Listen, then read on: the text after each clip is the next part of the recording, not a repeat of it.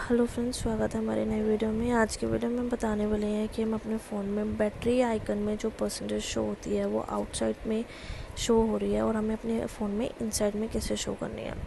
अगर आप हमारे चैनल पे नए हैं तो चैनल को सब्सक्राइब और वीडियो को लाइक ज़रूर कर देना।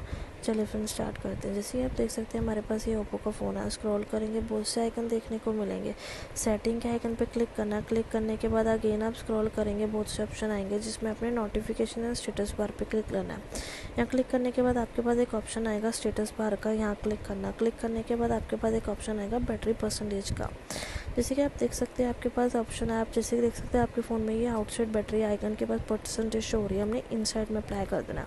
आप देख सकते हैं, ये आपके फ़ोन में बैटरी आइकन की परसेंटेज बैटरी आइकन के अंदर शो हो रही है। अच्छा आपको वीडियो पसंद आई फ्रेंड्स पसंद आई तो इसको लाइक एंड चैनल को सब्सक्राइब ज़रूर कर देना, ताकि हमारे चैनल की सहायता से आप लोगों के फ़ोन की प्रॉब्लम ईजिली सॉल्व हो जाए। धन्यवाद।